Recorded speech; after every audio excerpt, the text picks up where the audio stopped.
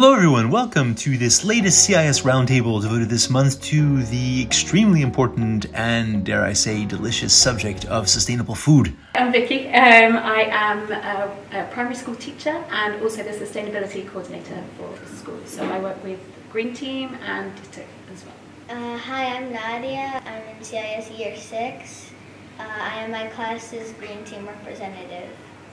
Hi, I'm Yi-Mei. I'm in year 12, been here since reception, and I'm a DITO leader, DITO being the sustainable group at CIS. I'm Christian Yang. Uh, I am an alum and a parent. I am a chef, uh, TV chef, and a branding specialist for restaurants. My name is Catherine Kwei Shih. I am parent of two CIS children, and I'm also the president of CISPTA, and on CISPTA, we have a number of committees that touch on sustainability, and in particular, I'm on the food committee. Hi, I'm Jerry Szombathy. I'm the Director of Operations at CIS, and in my uh, portfolio is food. What's your own personal reason for caring about the environment?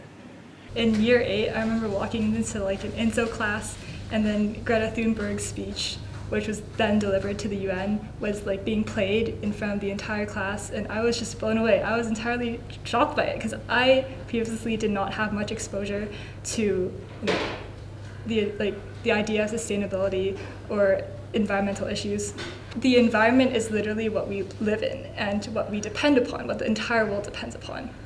And one if it goes wrong if there's something wrong with it its implications aren't just limited to one thing. Since i was um, i think in year six i was suddenly we did this topic at school and i was suddenly interested in the world around me and the environment a lot more. I was looking at different recycling systems and as dry as that sounds now it was so interesting.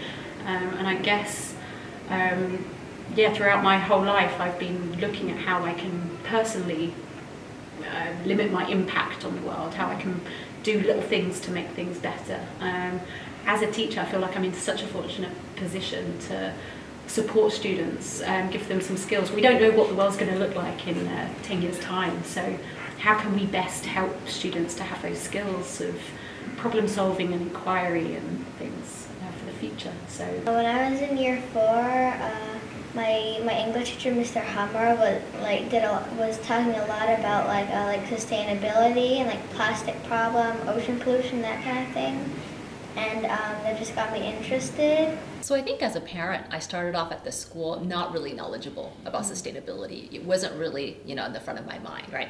So in many ways, my journey in terms of understanding sustainability has mirrored my children's. And I actually think that education and CIS and schools in general are really pioneers or at the forefront mm-hmm. of being able to drive that kind of education and change. And so when I started as a CISPTA GC member, you know, my role is to bridge the school and the parents and to promote kind of mutual understanding. And sustainability went from kind of a minor topic to now basically being one of the most foremost issues of our time. And it went from being a subcommittee where we did a little bit of work to basically being something that pervades all of the decisions we have, we make at CISPTA. We're here to talk about sustainable food. Can you explain that concept for us? I think the one of the most important things is it's not just about the environment, it's about our health, it's about our well-being. So our, our mental health, our physical health, our well-being overall is incredibly linked to the health of the planet and the environment. So if we continue eating in the way that we're eating, the environment will be hugely degraded. Uh, there'll be lots of malnutrition. Uh, there will be a huge amount of diseases, and we know that we can change this. We don't have to go down that route. So I think choosing to eat sustainably, perhaps it's a more of a plant-based diet. Maybe some people are doing a whole plant-based diet. Some people are choosing vegan or vegetarian foods. You don't have to do that. You could be a flexitarian. I think is the, the term now, where it's flexitarian. Yeah, so it's largely plant based, but with a small, modest amount of uh, dairy products or meat or fish. Mm. You can still have those, but just to, we all need to work together to change our sort of approach to food and how we eat. I, why I think sustainable food is so important is because, well, two main reasons. First of all, a lot of what, like, how sustainable something is, is kind of quantified by the carbon emissions, right? Because carbon emissions are the basis for like climate change, global warming, and our goal is to reduce emissions. And this is a fact that is thrown out quite often, but I would like to share it is that if the food industry were a country, it would be the third largest emitter. And second of all, I think the f- sustainable food and taking action in terms of like the food industry is the simplest thing to do. Because if you think about energy, we have all these problems like, oh, how do we um, implement these renewable energy solutions? Oh, solar panels aren't that efficient. We don't have batteries. There's so many problems. But sustainable food, in the end, it comes down, there's a very simple solution, and it just comes down to all of us eating less meat like eating less beef in particular. Eating sustainably is just to avoid these very resource intensive foods. And that's something everyone can do in their everyday life. Right? How straightforward is it actually to be a sustainable eater? I just feel like can instead of like we, yes we need to focus on reducing the carbon emissions but can we also get legislation to focus on how to find technological solutions to deal with it? I had a recent conversation with Metanoia, which is the um, sustainable consultant group that DITO works with, and basically what they told us and what we found in like through research was that the transport and packaging of foods is only accountable for a small portion of their overall emissions. So a lot of the emissions of especially meat-based products such as beef and pork and lamb, they come from actually raising the livestock. And this is where most of the emissions come from. So while it is very difficult to create a perfectly sustainable meal, there's like a lot of problems with bees and whatnot, mm. but to reduce your footprint and to eat more sustainably, I'd say that is quite simple in Hong Kong because all you gotta do is just reduce the amount of beef and amount of meat you do. As an individual, what I'm concluding though is that if I measure improvements in terms of what I am doing, you know, in terms of my own contribution to the problem, right? I actually think it is it is easy to make that 20%, 30%, 40% mm-hmm. difference mm-hmm. versus my own starting point. Right. And I think by making better choices, by being informed about what kind of emissions you know are being produced by the choices that I make, yeah. I actually think that we are in a luxury of mm. where we are in Hong Kong and our community to be able to pioneer those choices, right, and set the example. How can we ensure that we have sustainable food at CIS? Christian, you raised the point that we're transporting food from all over the planet here to Hong Kong to, to consume. If we think back 100, even 50 years ago, food wasn't being moved around the planet in the same way that it is now. So um, it's possible to eat more locally, and I think that is something that we should make a commitment to at school to buy local, eat local, provide produce and, and proteins that are available nearby um, that don't require flying across the planet. Um, and of course, we we need we probably need to spend more time educating ourselves, each other, the students, the staff, on making how to make good choices about our nutrition and and choosing foods that, that have less of an environmental impact. Primary has a green team, and you're you're a member of that team. I'm wondering, have you all thought a little bit about how we could have more sustainable food yeah, it's actually like a really big topic at Green Team. Like, uh, we were focusing mainly on plastic packaging, but that comes with a lot of concern towards snack and food packaging.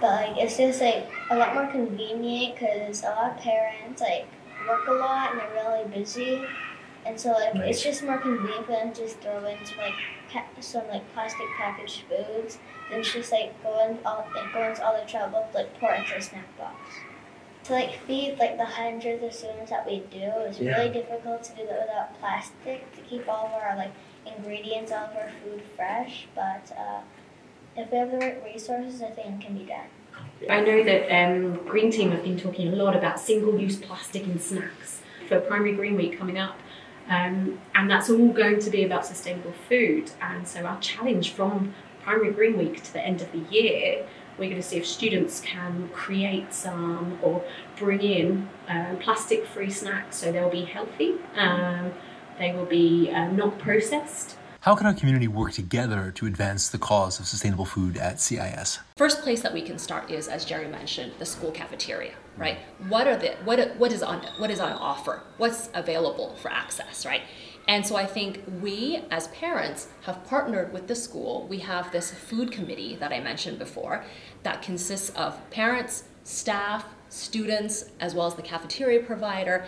And our job, you know, what we prioritize is asking questions that focus on sustainability. So things like, you know, are we able to provide more vegetarian options or meat alternatives? Um, how do we reduce the amount of food waste that's being produced, or what do we do with the food waste? So I think clearly from these efforts, students, parents of school, it really is taking the whole village to make sure our inputs are being heard and we can work together to make tweaks that really do move the needle. On April 22nd, CIS students are going to be organizing a sustainable food summit. Can you please tell us more? The summit is an opportunity for high school students around Hong Kong who care about sustainability to gather in one place and learn from each other as well as sustainability educators and experts. We have three main goals for the summit. The first is we want students to be able to learn from people who have experience in the field, whether that be NGOs or like experts or and or like school food providers, because the summit is focused around sustainable school food. Um, secondly, we want students to learn from each other, because most of what DITO has done from personal experience has been to do with the school, like CIS itself, right? We are installing solar panels on the roof, we're eliminating Tetra Pak from the cafeteria, but these are all limited to um, reducing our own school, like CIS's impact on the environment, right? We aren't engaging with the wider community, but large change needs this community engagement. And so we really wanted to gather all the students in one space where they can share ideas like, oh, your school has done this, our school has done this. Instead of trying to do these things all individually, we can come together and help each other and in the end help everyone sustainabilize, right? And the third and arguably most important goal is to enact some real change, right? Some real change that we hope will spark further change along the line. The main like exciting part of the summit is for lunch. We have invited three chefs who will be preparing sustainable school lunches for all the participating students, right? And then they'll present like why is this lunch sustainable? What did I include in it? Um, and then the students will vote. There will be a like panel to judge all the dishes, and in the end, these dishes will be incorporated into the school lunch meals of all the participating schools. So now we have not only you know gotten students to discuss and learn about sustainable school food, but we've actually gotten um, school food providers to change their menu to be more sustainable. What are the other sorts of things we could be doing as a community as we think ahead right, and dream big for sustainable food at CIS? We're already promoting our like no like single-use plastic that kind of thing, but I think like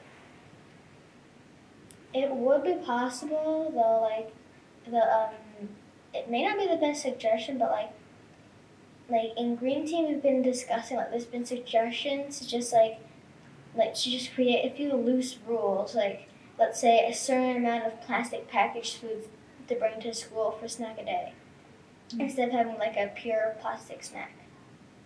Oh, as as Nadia was talking earlier about the sort of um, the snacks, um, mm. it's it's such a quick win, such an easy change. It could be hugely impactful. Uh, something that we've been calling nude food. So having food, our snacks, maybe even our lunches without plastic. That's a, mm. one of the changes that we can make very easily. I think flexitarian is, is a great idea. Can we say, right, you know, you got three meals a day, one meal, one meal a day, vegetarian. Mm-hmm. Not so far as to go plant based fully. That's for later on. But just say one, commit to one meal a day right? And the same thing with packaging. It's the same. It's the same idea, right? Mm. Just for for one meal a day, no packaging. We have to hold our food services feet to the fire, so to speak, not to be sourcing from across the planet. Mm. We have to be demanding that that um, ingredients are coming from as close by as possible, and that that means even our farm which has you know, up till this point, not really fed much into our food system here at CIS. Um, it's been more of a showcase and an educational tool, but it actually produces some vegetables which we could be using and herbs. We are currently with the school working to make sure that you know whoever our vendors are, they're providing a certain level of vegetarianism or, or, or local food, uh, reducing single-use plastics, and you know very quickly that thousand meals a day can transform you know economies because then schools banding together in sustainable summits. Dear participants, thank you very, very much for shedding such insight on this important and complex topic of sustainable food.